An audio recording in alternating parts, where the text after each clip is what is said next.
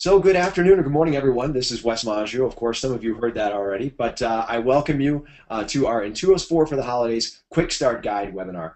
Uh, what we've got lined up for you today, again, is some action-packed content, and, and that is first and foremost uh, to get you guys up and running as efficiently as possible right out of the box. So to get started, what I thought I would do is go over, uh, well, basically some of those key features that every Intuos tablet uh, has. So on your screens in front of you, you see the Intuos 4 medium tablet. Now, depending on which tablet you got, might look slightly different, but for the most part, everything that I'm going to be showing you here today uh, is relevant across the board. But what I wanted to do was I wanted to talk about a couple of the main features here.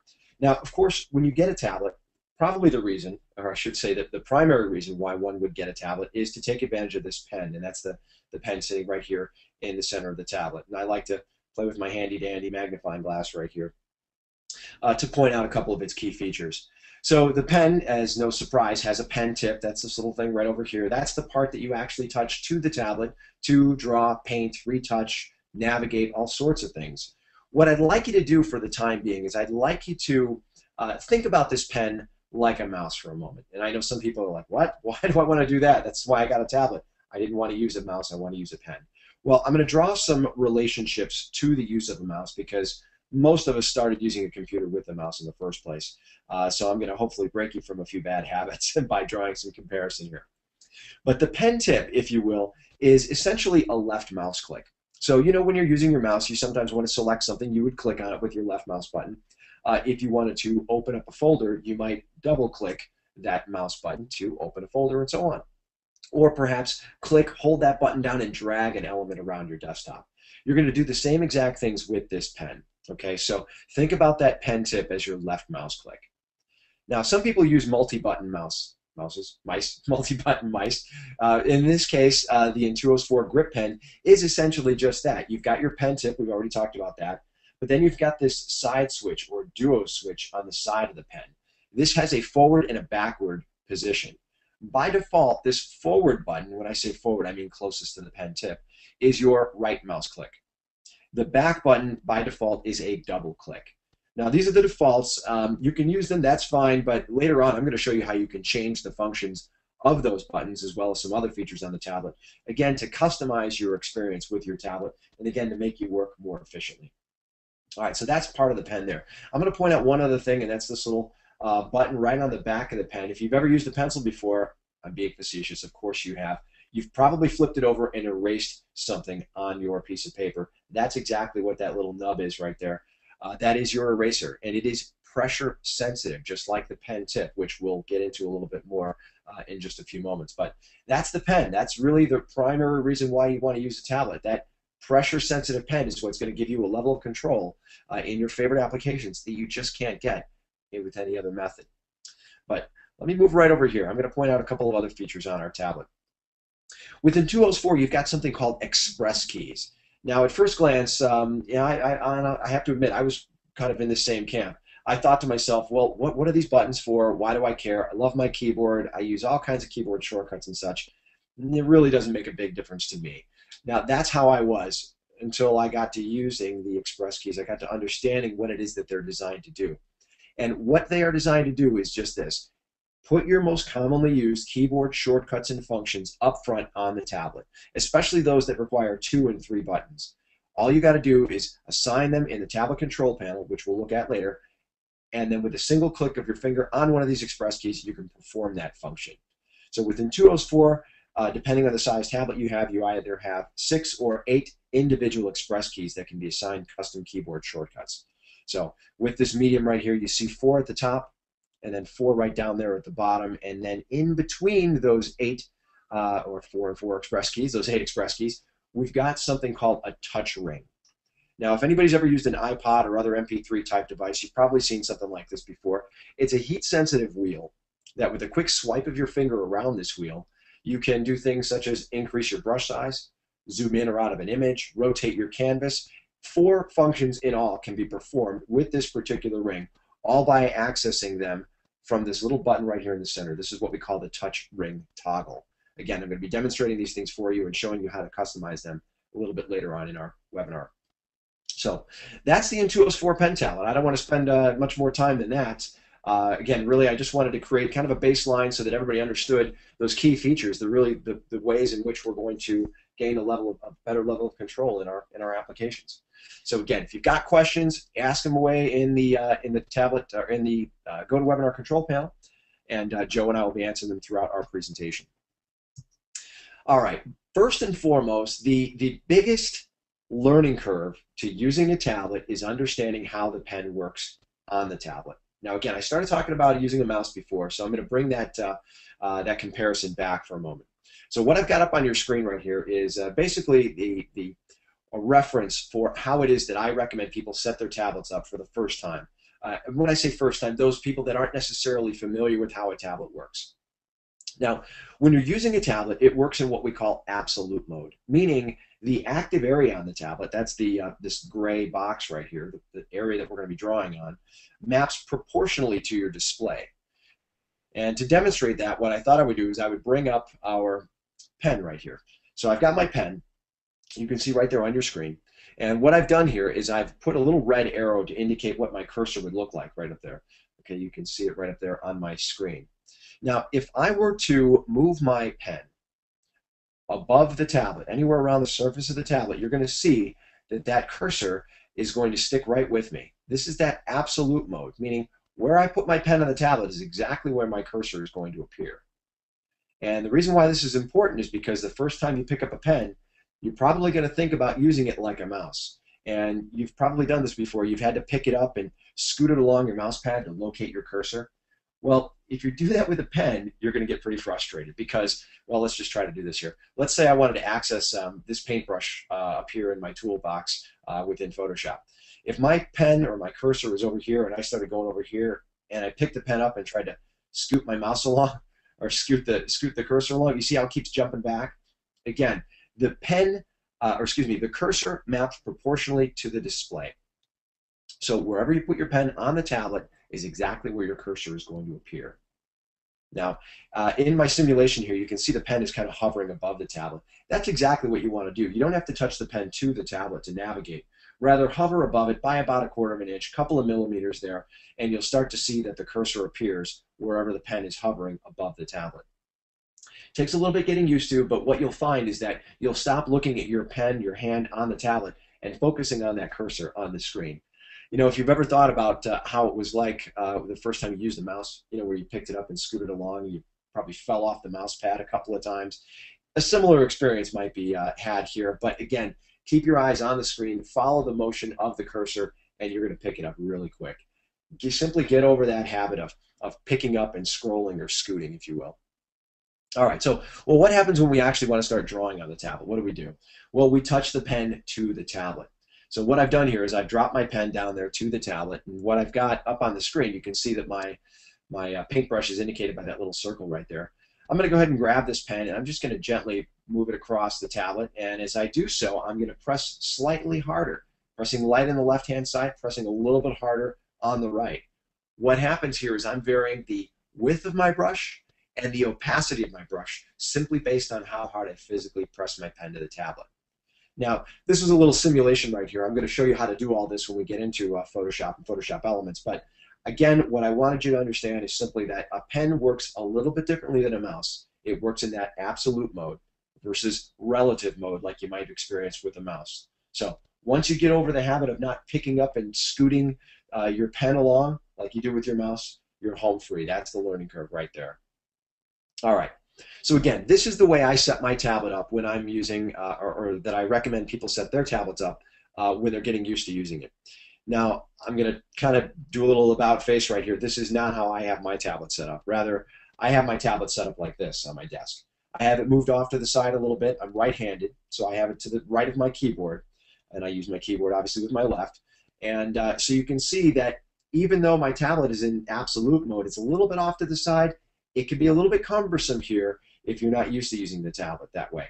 Once you get used to it, move it anywhere you want. Move it around the desk. Some people like to set it in their lap, uh, what have you. I just simply want you to get comfortable with it. This is the way I like to use mine once you know, I've got, I had gotten used to uh, how that absolute mode worked.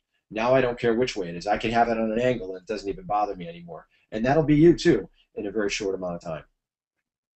Okay, so that's how you set it up. Well, how exactly do you set it up to use it in your favorite applications? So what I've done here is I've got this, this little blank screen. This is just a reminder for me, actually.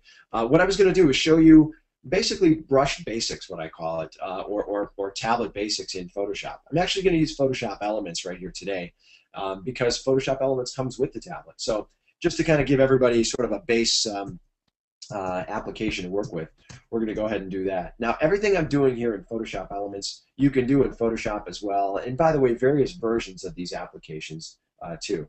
So uh, if you're not using the same version that I am, not to worry. Uh, most of what I'm going to be doing here, or I should say, well, actually everything that I'm going to be doing here, you can do in just about any version of those applications.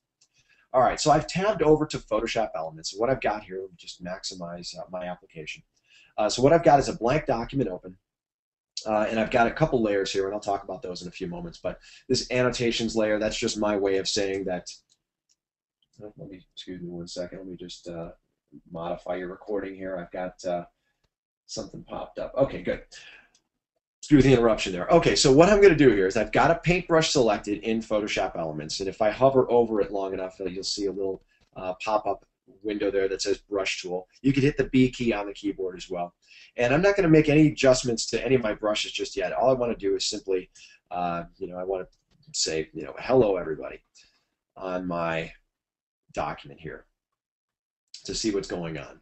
All right, now let's explain what's happening here. So what I did was I just I didn't even I didn't even know what brush was selected. I just wanted to start drawing something. So I hovered above the tablet and I just wrote hello there.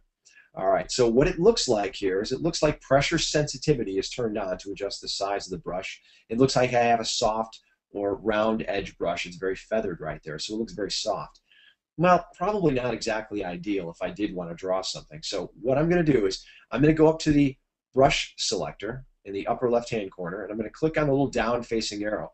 When I say click, I probably should say tap. That would be a little bit more relevant uh, because that's exactly what I'm doing. I'm tapping with the pen tip, which again is just like a left mouse click. And I'm just tapping, holding my pen down on the tablet in the lower right-hand corner here, dragging this down so I can see some of my brushes. And let's see here. It's kind of grayed out there. What brush do I have? I have the regular brush tool, okay. Well, I guess it's just gray for some reason. But all right, I'm just going to grab a, a, little bit smaller brush. I've got a 21 pixel brush here. And uh, if I look in the brush preview window right up there, I can see that it still has a feathered edge. Now as I draw on the tablet, you can see there, pressing very lightly, gradually pressing a little bit harder, you see it's fanning out in width. and also has that soft edge up there. Let's go back to your brushes once more, and I'll just select this kind of harder edge brush. This is a 19 pixel uh, hard round brush. Again, if I hover over it long enough, it's going to tell me exactly what that is. Again, in the brush preview window, you can see that it's got this really hard edge right there. And the same exact motion that I just drew here, let's try this. I'm going to press lightly, gradually press a little bit harder. Now again, if I were to zoom in, we can see the difference there. I've got a soft edge brush, hard edge brush. In both scenarios, I'm using pressure sensitivity to adjust the dynamics of that brush. How the brush is affected on pressure depends on its brush attributes. So let's take a look at a couple things here. I'm going to clear the screen and uh, let's see, we'll go ahead and we'll stick with that 19 pixel uh, hard round brush for a moment. And I want to point your attention right up here, and this is kind of kind of hard to see. It's not very uh, visually apparent, but up on your options bar, when you have your paintbrush tool selected, there's a little down-facing arrow. And if I hover over it, I think it should say tablet options. It may or may not, but um, it wants to show me what documents there. Okay, well, anyways, right in between your paintbrush and your airbrush, you've got uh, a little down-facing arrow. This is where you find your brush tablet options. Now, this is specific to Photoshop Elements, and for those that are interested, I'm using Photoshop Elements 10 here. Uh, the version of Photoshop Elements that comes with your tablet is, is version 9. All the same things uh, are in 9, exactly where I'm showing you as well, so not to worry. So what I've done here, or with this particular brush preset, the size of the brush is turned on and set to be affected by pen pressure. In fact, you can see it right here. Check the settings. Uh, the pen pressure on the tablet should control. I don't know how well that reads there, but uh, we'll chat with our friends at Adobe. But basically, you can use pressure to affect the size, opacity, the hue, the amount that a brush will scatter, and roundness, all based on pen pressure. So let's try something here. Um, I've got uh, size turned on, so let's just do this. I press light and gradually press a little bit harder. let's go back up there. Let's go ahead and select opacity and uncheck size and see what happens here. Okay, got a different feeling right there. Note the size of the brush maintains uh, or is consistent across the entire stroke, but it's light on one end, dark on the other. Let's go ahead to hue, and this isn't going to do much because I only have uh, white selected, so let's not even worry about that one. Let's go to scatter. This is kind of interesting. This is going to make kind of a, a, a garbly. Okay, well it's not. Uh, that's because we needed to actually scatter it a bit.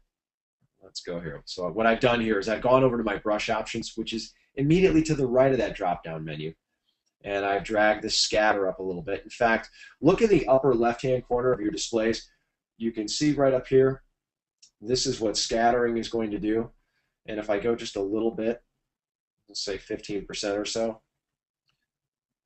pressing light, gradually pressing a little bit harder, uh, you can see at the very far left of the stroke, uh, they don't scatter very much. On the right, they start to scatter a little bit more. Again, pressure sensitivity is controlling the, the amount of that scatter.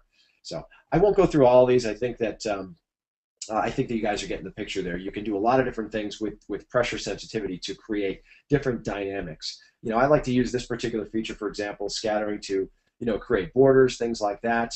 Uh, one of the things I love to do is is uh, make dotted borders, and I do that using the brush uh, or the the brush options right here and that's by adjusting the spacing. So for example, again, if you look up there in the uh, on the left-hand side, you can see that the spacing of my brush is going to be varied as I drag the slider up. So now I've got this kind of little dotted line there. If I want to make that a little bit more, just drag that up a little bit more. And we'll get rid of those strokes there. So again, what I'm doing here is I'm adjusting the size of the brush. Oh, well, here we go. We'll just do this just draw that out there. I'm adjusting the size of the brush uh, along with that spacing option, so you get this really nice little dotted pattern. Sometimes I like to do make those borders with the dots with the dots as well. For example, I'm holding my Shift key down simultaneously while I kind of place these here. Let's go down there, and we got like that. Okay, so now I'm just playing. All right, I'll let you guys play. Anyways, so that's really where you're finding your brush options. Once you've selected your paintbrush within the uh, toolbox, go up to that little down-facing arrow, arrow. That's where you're finding your brush tablet options up in the options bar. And then again, you can adjust the dynamics uh, or the, the attributes of those brushes by clicking on the paintbrush icon uh, just to the right of that. Now, um, I'm probably going to pay dearly for this, but I'm going to click on this little link right here where it says Brush Tablet Options. What that's going to do is it's actually going to launch my browser and it's going to go out to the Adobe help file. Um, if you're having some uh, difficulty or, or you'd like to learn a little bit more about what some of these options do, the help file can be immensely beneficial. And like I said, I was probably going to pay dearly for this. What it's doing right now is it's gone online and it's looking for that document. Okay, there it goes. It didn't take too long. There we go. And I'll just minimize this right here. And again, you can see right there, there's a little tutorial as how to set this up. You can set up your brushes just by clicking on Set Up Brushes. This is a dynamic document, so I encourage you to go ahead and check that out. You can click those links right within Photoshop uh, elements in, in all sorts of different places. All right, so that's kind of brush basics. Um, I just focused on the, uh, the paintbrush right here, but keep this in mind. Your, your eraser, your clone stamp tool, which I think we'll actually take a look at in a moment, uh, your smart brush tool, a lot of these different tools in Photoshop Elements are pressure sensitive. And that's largely based on the relationship uh, that we have with Adobe. We build in this kind of functionality there. All right, tell you what, well, let's look at this. Um, one of the things, um, you know, actually I wanted to look at this filter first, or not filter, but we, I wanted to look at uh, this particular image. I want to show you how pressure sensitivity, uh, when combined with a layer mask, can give you a level of control that you just can't get in any other way, um, or certainly more uh, more efficiently and, and more quickly. So what I've got right here, let me back out. Um, I've got a, a, very typical problem. If anybody's ever shot a, a photo outdoors or uh, um, an, an, image that has very bright and very dark uh, elements to it, very high contrast kind of images, you might have faced this problem before. What your camera has done is it's exposed for what it can see in the foreground. Um, it, it can only pick one or two things at a time, or gradual tones. For example, uh, in this particular case, I exposed properly for the background, for the sky and the you know the mountains on the other side of the river. But what happens here is it it underexposes the foreground. Now what I want to do is I want to try to bring some life back into this image, and I'm going to do so using a levels adjustment layer. You've got a lot of different adjustment layers in Photoshop Elements and in Photoshop, um, but what I'm going to do is I'm going to focus on levels, and I'm essentially going to lighten up the image by dragging the lightness slider to the left. And then I'm going to grab the midtone or gamma slider here in the bottom uh, in the center just a little bit more. Now I like what's going on in the foreground, uh, but I'm completely blowing out all detail in the background. So that's not going to help us at all. What I'm going to do though is I'm going to use pressure sensitivity and the layer mask that comes with this adjustment. You can see that right over here in the layers panel uh, to combine the best of both of these exposures. Now the way you can start this, uh, and in this case it actually works pretty well, the gradient tool is a great place to start. What I've done is I've selected the black and white gradient and I'm just going to drag right up and down here, say, well, let's go right about the center. And, um, well, that doesn't look too good. Let's do it again. I'm dragging a little bit farther down. That's starting to look pretty good there. So let's toggle this visibility on and off. Here's our before, and there's our after. Well, I probably could do a little bit better. Let's see if we can do this. And we can keep dragging this out till we get just the right amount uh, that we want there. We can kind of see kind of a harsh line right there. If I hold down my Option or Alt key, you can see that little graduate, uh, graduated uh, line or gradient fill there. That looks pretty good, but what I want to do here is I want to use that pressure sensitive paintbrush to combine the best of both of these exposures. So I'm using uh, the paintbrush tool right now, and let's see here if I can see. Uh, let's see here, get my colors up there. There we go. I've, I've lowered the resolution of my display so it shows up a little nicer on your side. Uh, so I just needed to see what colors I had selected there. So right now what I have is white in the foreground, and I need to go back and get a nice soft edge brush. So I'm going to select, uh, let's see here, I'm going to select these uh, brushes right down here. These are your air brushes. And by airbrush, uh, this preset basically has a soft round brush with pressure sensitivity turned on to adjust the opacity. Uh, let's see there. And this is, by the way, this is a little tricky thing here. What it does not show you, however, is the actual settings. That's something that's interesting about Photoshop Elements. In Photoshop CS version everything, uh, you can pretty much see these when you go into your brush panel. But right now, when I've clicked on the brush tablet options, even though that particular brush uh, was set so that opacity was going to be affected by pressure sensitivity, it does not show up here. So um, you kind of got to just experiment with some of these brushes over here in the brush panel or in the brush picker. And these air brushes, I can tell you from experience, uh, are pressure sensitive um, in terms of opacity. All right, so let's do this. Let's come back over here, and now I'm going to paint with white.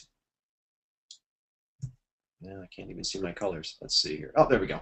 So this little icon right up here will will pull up your tools into two rows so that I can have white in the foreground. Okay, that's what I wanted. All right, so now when I'm painting with white, what it's going to do is it's going to reveal that adjustment right up here in there, uh, right up here in the river. When I paint with black and I hit the X key on the keyboard, I can kind of paint that back in. Now I'm going to zoom in a little bit. I can conceal that mask now, or that adjustment. And you know, I think I might be making a liar out of myself because it does not appear that opacity is turned on.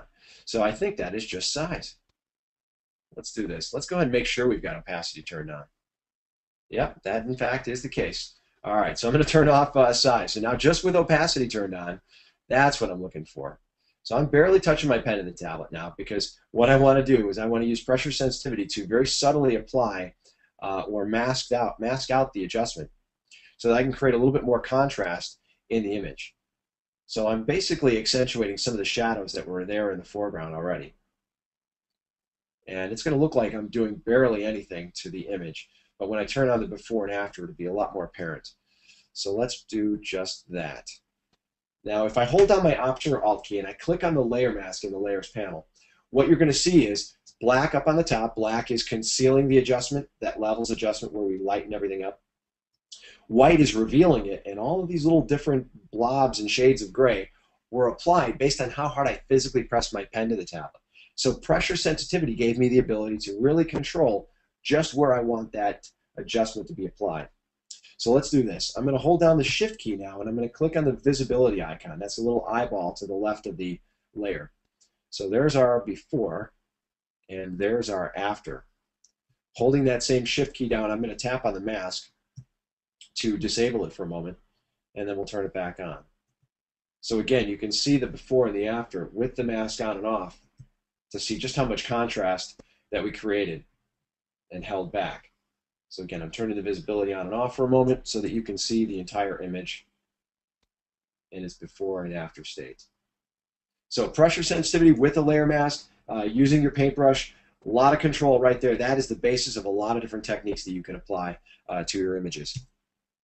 All right, let's close that up for a moment. I wanted to show you something else that comes along with the tablet, and that's the Nik Color Efex Pro Wacom Edition filters. Uh, if you're not familiar with Nik software, they are a plugin developer, a filter developer uh, that essentially allows you to work more efficiently and create some really dynamic effects and enhancements to your photos.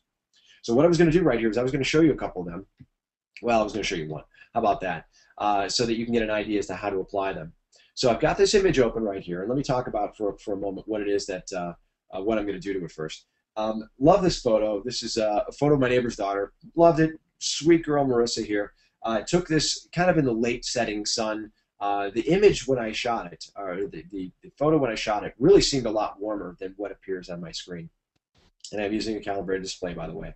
Uh, so, so what the camera captured wasn't exactly what I saw. So I want to warm up the image a little bit. I want to create a little bit more vibrance um, in the colors, in the in the mulch down there in the, in the uh, in the foreground and uh, on her face. You know, that warm setting sun really had a nice glow to it. I want to bring that back. So I'm going to use one of the filters that you get with Nik Color Efex Pro Wacom Edition, and that is very appropriately named Brilliance and Warmth.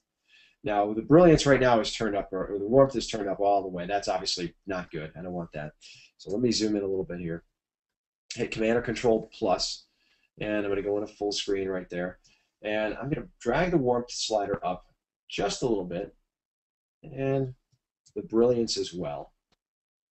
Okay, so I really like the way that looks, but in some areas it actually looks a little too warm, and I want to basically hold that back. So what I'm going to do is this. If you'll notice right down in the lower uh, portion, lower right-hand portion of your screen, there's a little button that says Brush. Now if I clicked OK, it would apply this filter to the entire layer. What I want to do is I want to apply it simply selectively with the mask. So I'm going to click Brush, and what happens is it duplicates the layer, and it runs the filter, and it puts a layer mask right over the top. In fact, if you notice in the, the name of it right here, it says CEP 3.0 Brilliance Warmth. That's Color Efex Pro, Brilliance and Warmth. Now, this little dialog box right here that's just popped up, this is the Nik Selective Palette. And this is essentially uh, a palette that can be used to uh, adjust how the filter is being applied. And if we do this, let's see here. Well, we don't really need that. All we really need to worry about right now is this little tool area. And in this case, let me try to minimize this a little bit here. We'll get this out of the way. So it's pretty straightforward. If you click Paint, what's going to happen is as I paint on my image, it's going to brush on that adjustment. Okay. If I click Erase, it's going to do just that. It's going to erase the filter right there. If I click Fill, what it's going to do is it's going to fill the entire image with that filter. And by the way, if you've been paying attention to the Layers panel right up here, by clicking fill, essentially what it does is it's a shortcut to um, so, uh, fill your layer mask with white, essentially revealing everything that's underneath it. All right, but let's do this. I'm going to click clear because uh, clear is going to fill it with black. So now I'll click paint and I'll just brush on only the areas that I want to warm up uh, on my image. So a little bit on her face, her skin obviously. Pressing very lightly, you may recall before that we've got that paintbrush selected opacity is turned on and being controlled by pen pressure. So again, I'm barely touching my pen to the tablet, pressing very light, pressing a little bit harder in some areas than others. And we'll be able to see that in the mask a little bit later on. Let's go ahead and move this out of the way. And we'll move that over there. And I'm going to get a slightly larger brush. To get a larger brush, what I'm going to do is this. I'm going to click one of the buttons on my tablet that's right in the center of that ring. That's the touch ring toggle. And I'm going to increase the size of my brush by simply swiping my finger around that ring. And I'm just going to brush a little bit onto the mulch back there to kind of warm it up. And I'll do the same thing in the grass. Barely touching my pen to the tablet. It's just going to give me a really nice, really nice, subtle, soft, feathered effect. Once I'm done, all I got to do is come over to my selective palette, click apply, and it releases it. We'll go ahead and close up that panel. We don't need that anymore. And now if we look at the, in my layers panel right there, I'm going to turn the visibility off for a moment. That's again clicking that little eyeball. there's our before, and there's our after. Okay, very subtle. Here's our before, very uh, uh, and after. Uh, if I hold down my Option or Alt key, I'm going to click on the mask so you can see kind of what's going on there. Again, black conceals, white reveals. It's probably whitest right here on our knee. Uh, and then all these different shades of gray where I paint in the background allow me to selectively apply that filter. So the two examples I've showed you right here, I've showed you layer masks that come with all of uh, uh, come with both Photoshop and Photoshop Elements. But now with the Nik Color Efex Pro Wacom Edition filters uh, and through their plugin, you can see it incorporates the same kind of concept, the use of that layer mask, so that you can selectively apply these adjustments only in the areas that you want. All right. Keeping, uh, keeping in time here, I'm kind of moving a little bit faster. I want to show you just a couple of other tools, just to give you some examples here, uh, to understand where pressure is coming into play. I showed you a paintbrush, basically, just one single brush, um, and essentially the eraser as well, but uh, through the Color Efex Pro uh, plugin. But what I wanted to do is I wanted to show you the clone stamp tool because many of you are going to find yourself using this particular tool. Uh, it's a great tool to obviously clone out or get rid of unwanted elements. And in fact, that's what uh, I typically do when I'm working on a portrait. Now, these happen to be my boys right here. This is Miller and Carter, and I'm going to show you how it is that uh, I use the clone stamp tool in a couple different ways to, um, well, basically to enhance a portrait. But keep this in mind. I mean, even though I'm talking about a portrait here, your clone stamp tool is used in all sorts of different uh, uh, applications. All right, so the clone stamp tool looks just like that, kind of a rubber stamp, if you will. I like to call it the rubber stamp. And what I'm going to do here is this. I'm going to go back up to my normal blend mode there. I've created a new layer because what I want to do is I want to clone to a separate layer, and hopefully uh, this will allow me to do this here. Sometimes it does, sometimes it doesn't, depending on the application. I have to be honest with you, I use Photoshop quite a bit. I don't use Photoshop Elements as much. So sometimes I get used to certain tools in one uh, application and forget that they're not in another. Okay, so what do we want to do here? Well, I want to get rid of a couple of things here. Carter's complexion is okay, he's a little bit younger, but there's a couple of freckles that, well, let's just go ahead and get rid of a couple of them there. That one little right up there. Just a couple that kind of stand out. Same thing with Miller. Let's go ahead and zoom in on his face right here. Just a couple here and there. I don't typically take out freckles again because you're, you don't want to take away from uh, someone's personality necessarily, but uh, just a couple of them I think right there makes a big difference. You know, my eye's not drawn to it as much. So that does pretty well. I'm going to create another new layer by clicking on the new layer icon right down here in the layers panel. And what I'm going to do here is I'm going to keep with this same tool and I gotta I gotta give props to, to my good buddy Tech Man Joe in the background here. He showed me this a year or two ago, and I gotta tell you, I use it all the time now. I call it the makeup brush, but this is a great tool, great technique for minimizing well this issue that I'm going to show you right here, and that's these these big wrinkles underneath people's eyes. Depending on your lighting, and in this case, my lighting happened to be uh, camera right uh, to the right of your of, of your display, kind of pointing down a little bit um, depending on the, the position of someone's head or what have you, it'll cast a pretty harsh shadow right there under the eye. Well, I want to I want to tone that down a bit. So here's how I do that. I've got my clone stamp tool selected. Uh, I'm going to change the blend mode up on the options bar from normal to soft light. And this is very subtle. In fact, sometimes, uh, even though I'm going to be using a pressure sensitive brush, uh, oftentimes what I like to do is I like to lower the uh, opacity a little bit. So I'm going to take the opacity slider down to say, I don't know, just arbitrarily or 40% or so. I'm going to hold down my Option or Alt key. I'm going to tap on a nice little lighter patch of skin right underneath his eye, and I'm just going to very gently paint right over there. And just make a couple of passes. Just a little bit, not a lot. A little bit goes a long way here. Same thing, lower my, lowering my brush size using that touch ring.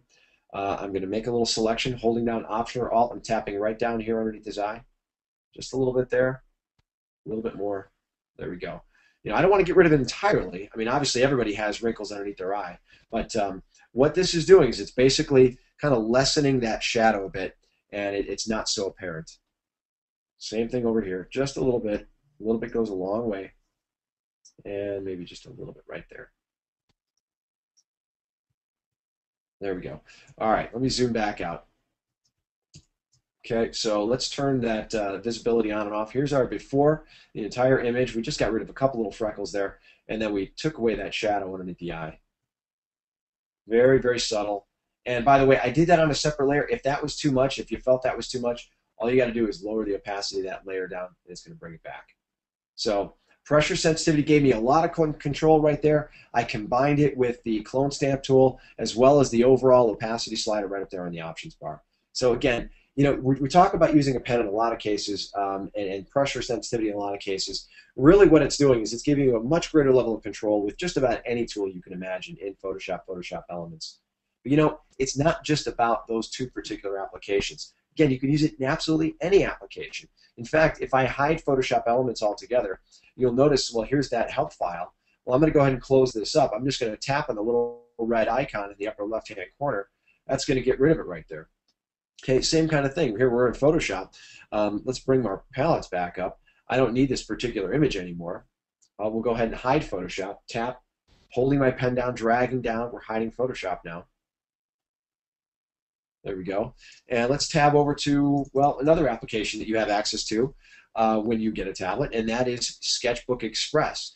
Now, I, I don't have a poll question, so it's not uh, it's not going to be easy for me to ask this particular question, but I was curious to know whether or not uh, anyone has downloaded uh, or accessed any of the free applications that, that are available to you as a registered tablet owner. Uh, if not, I encourage you to do so.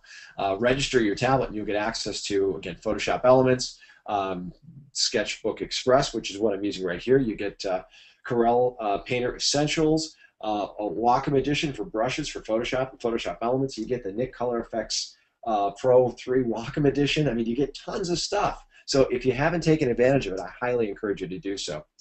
But what I wanted to do right here was I just want to show you one other application. Um, love this application uh, that you have access to, and that's Sketchbook Express. And so if you find yourself uh, wanting to sketch out ideas. You want to let your kids play. It doesn't really matter. This is a great application. Basically, what you see on your screen, I brought out all the tools. I pulled out all the stops so that you could see exactly what you get. And this is everything. And it's not a lot, and that's exactly by design. You've got your tools over here on the left-hand side. Basically, the same kind of tools you probably used in, in grade school and high school and college, what have you. Your paintbrush, your airbrush, your, your markers, your smudge tools, erasers. You got a fill bucket here. You can sharpen. That's it. Everything you access is either from this toolbox or from this little panel right down here, this little pod, if you will, right down to the bottom. If I were to tap on this little paintbrush and drag my pen up and kind of around, you'll see this little line appear. Basically, what this application is designed for is pen input. When you get used to where the tools are at, let's say I want to select my airbrush, I just kind of tap and flick out in that direction, and then I've got my airbrush. So now if I want to select some colors here, let's just go with this, um, you know, nice little uh, shade of blue. We'll close that up. I've got my airbrush selected. I'm going to hold the B key down on the keyboard. That's B for brush. Drag up or down. You can see I can adjust my brush size. I'm on layer one right here, and I'm just going to go ahead and throw down some color. And I'm just kind of going back and forth, kind of building up some color there. Let's go with something a little bit darker. There we go. A little bit there. Uh, let's change that color. I'm just going to go with white. get a smaller brush. Maybe add a little highlight on the top of our car here. You know, kind of pick up on the contour. There we go. Let's let's grab a pen or a pencil. I've still got white. There we go. I need a bigger brush though. I think. I'm going to hold down my B key again. Getting a slightly larger brush. Ooh, that doesn't look good. I'm hitting undo on my keyboard. By the way, one of my favorite keyboard shortcuts. All right, then here's my eraser. Now we kind of go back and just kind of clean this up. So again, it's a great application if you sketch or just kind of pop out little ideas. You want to share this with uh, you know a colleague or what have you. This is an absolute great application to take advantage of. So I encourage you to take a look at it. Again, it's free to you.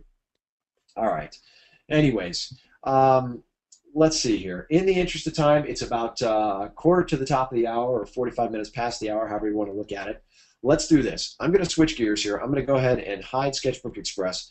I'm going to go over to the tablet control panel because this is an important area uh, and I want to spend some time here. This is where you're going to get uh, a whole heck of a lot of functionality out of your tablet. Well, once you've plugged your tablet in uh, and installed your tablet driver, you have access to this control panel right here. Now, if you've not gone to this area yet, you're doing yourself a significant disservice because when you customize various aspects of your tablet, you're going to find it much more enjoyable. And the best place to start is with a pen. So what I've done here is I've got my tablet control panel open. Now, depending on which operating system you're using, you'll find this in different places. I'm using the Mac OS, so where I found it was in the system preferences. Uh, if you're using Windows, you go down to your Start menu, you go to your tablet control, or you go to your control panels, you can find it right in there. Uh, there's also a Wacom tablet folder. A couple different places you can find it. Uh, this isn't uh, designed to be a replacement for the user guide, so um, keep that handy if you need to. But anyways, once you've gotten to your tablet control panel, this is what it's going to look like. Well, something like this. So I've got a couple different things going on here. The tablet I'm using today is the Intuos 4 Medium, indicated right up there. Uh, the tools that I'm using, uh, I have the grip pen selected. I've got an accessory pen here, uh, the art pen that I've added. Uh, that's available as an accessory purchase. Uh, I have my, my very affectionately named mouse, uh, or as I like to refer to it, the rodent.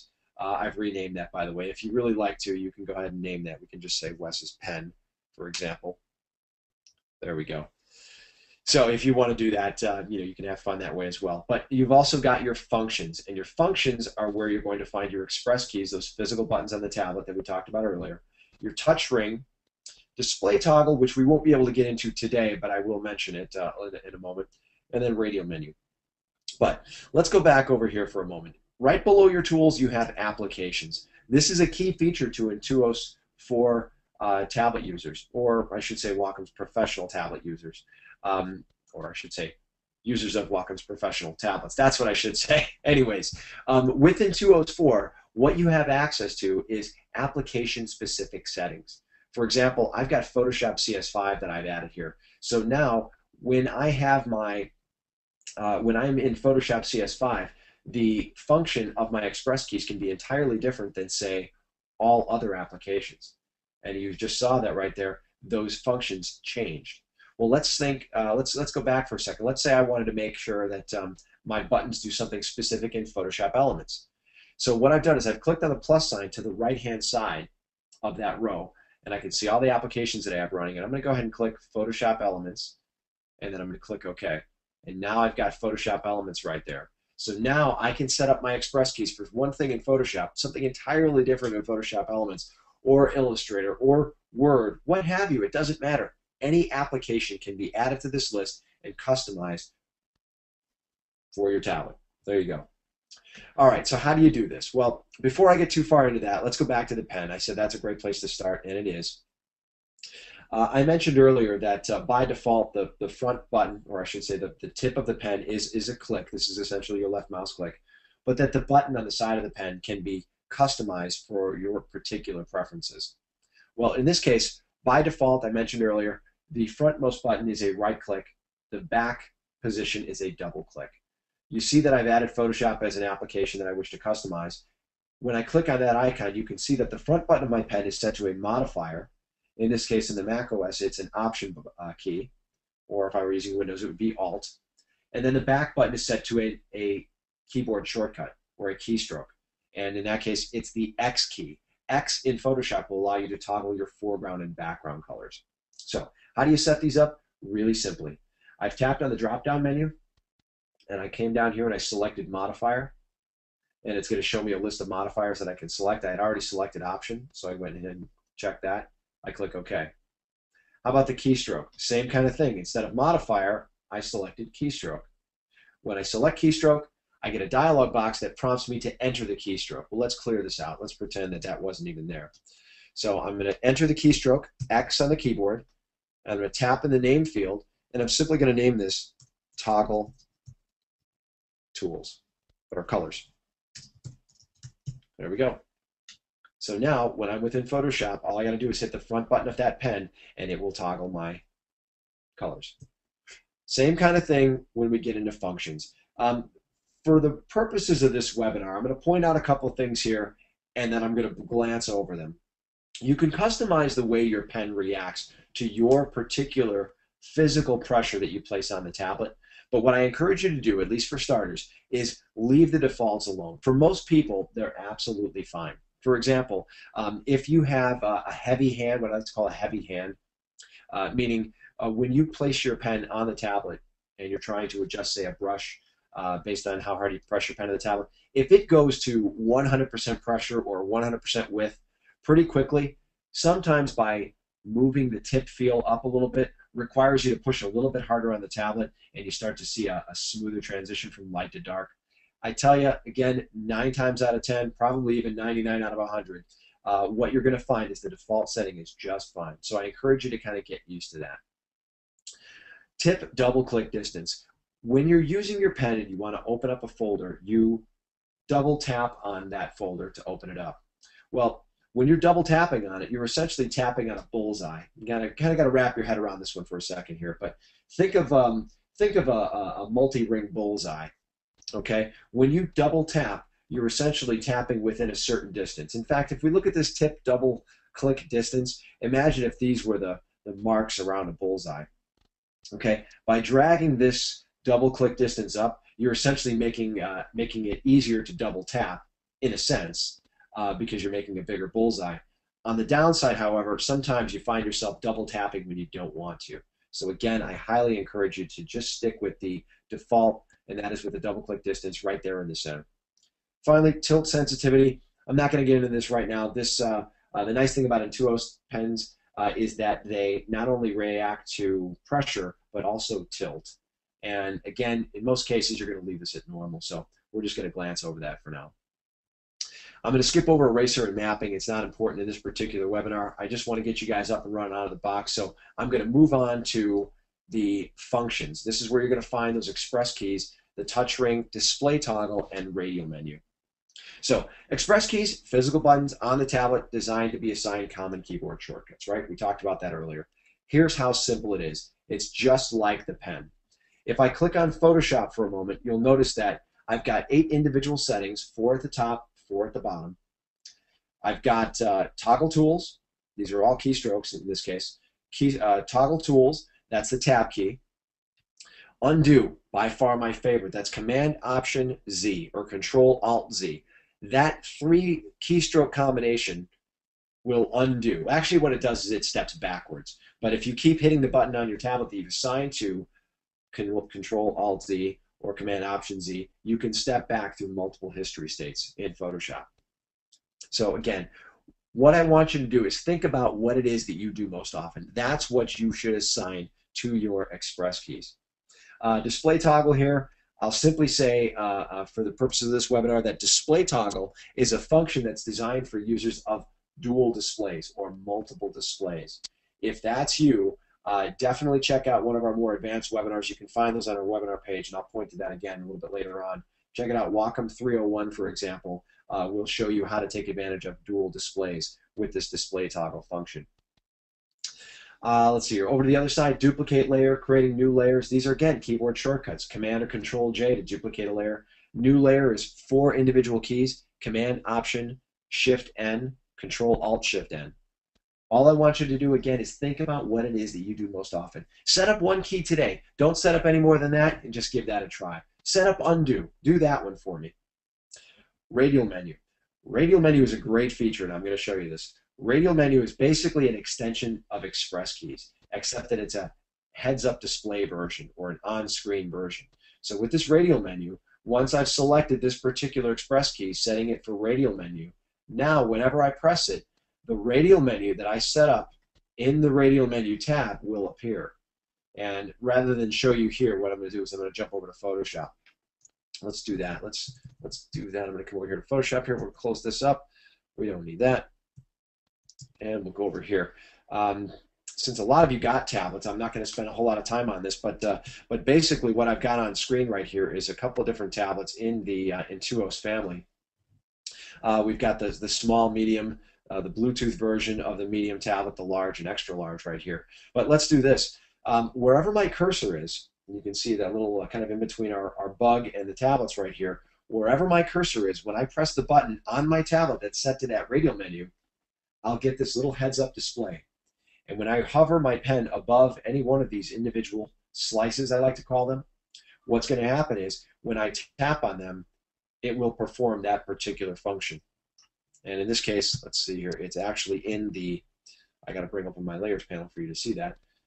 Uh, let me reset my workspace. And they're over here. There it is. There we go. So when I, there we go, I got to be down there. There's my radial menu, curves, and there's my curves dialog box.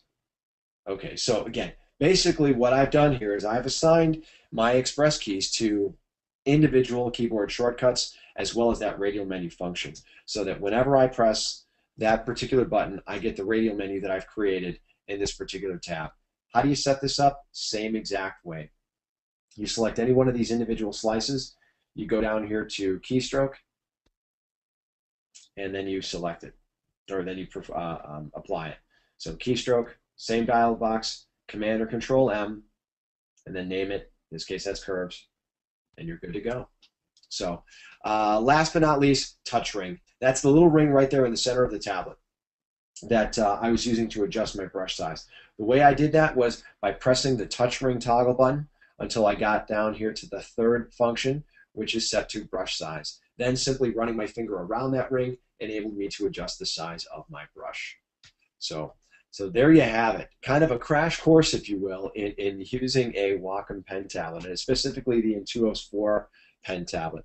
Let me do this for everybody here. Um, I want to go back to our presentation, if you will, something like this. And we're going to go ahead and open up this uh, screen right here. This is the opportunity for you guys to ask questions. Hopefully you've been doing this for a while now. Hopefully you've been asking the questions of Joe, and hopefully he's left a few for me to answer for everybody. But um, uh, while Joe uh, kind of digs a few of those up for me, what I want to do is this. I wanted to thank everybody and point you to a couple of additional resources that you should be familiar with. If you're not already a friend of ours on Facebook, you're on Facebook, go ahead and friend us there. We'd love to keep informed uh, keep you informed on uh, new stuff that's going on here at Wacom. Uh, the URL is right there on your screen. Same kind of thing at Twitter. We uh, follow us at Twitter. We post a lot of our new product releases, special offers, and all sorts of stuff right there on our Twitter feed. And in terms of uh, accessing the the previously recorded webinars that I mentioned earlier, if you go to youtube.com/wacom, you'll find uh, by clicking on the playlist the webinar playlist, videos webinar playlist, you'll find a number of previously recorded webinars there.